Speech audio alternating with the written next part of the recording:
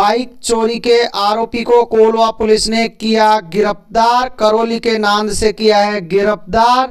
कोलवा थाना पुलिस ने बताया कि अगस्त 2020 में की थी चोरी की वारदात और कई वारदातों के खुलने की है संभावना कोलवा थाना प्रभारी बनवाल लाल ने उच्च अधिकारियों के निर्देशन में की थी कार्रवाई।